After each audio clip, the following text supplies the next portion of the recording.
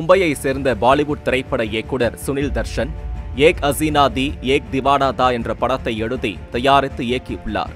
திரைப்படம் இன்னும் ரிலீஸ் ஆகாத நிலையில் அந்த திரைப்படம் யூடியூபில் சட்டவிரோதமாக பதிவேற்றம் செய்யப்பட்டுள்ளது. திரைப்படத்தை யாருக்கும் விற்கவில்லை என்னும் போது இது காப்புரிமையை மீறிய செயலாகும் என அவர் கூறியுள்ளார்.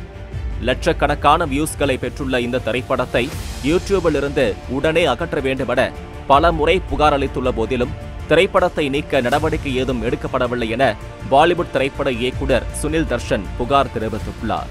யூடியூப் நிறுவனம் இந்த திரைப்படத்தை பதிவேற்றி விளம்பரங்கள் மூலம் பெரும் வருவாயை ஈட்டியதாகவும் புகார் வைக்கப்பட்டுள்ளது.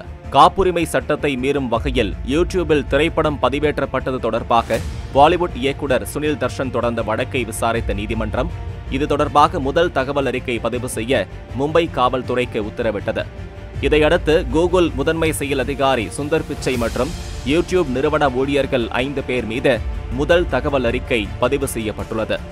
ஏக் அசீனா தி ஏக் திவாடா தா என்ற பாலிவுட் படத்தில் சிவதர்ஷன் நட்டாஷா பெர்னாண்டஸ் மற்றும் உபேன் பட்டேல் ஆகியோர் முக்கிய வேடங்களில் நடித்துள்ளனர் என்பது குறிப்பிடத்தக்கது. இது போன்ற செய்திகளை தெரிந்து கொள்ள ஐ தமிழ் சேனலை சப்ஸ்கிரைப் பண்ணுங்கள்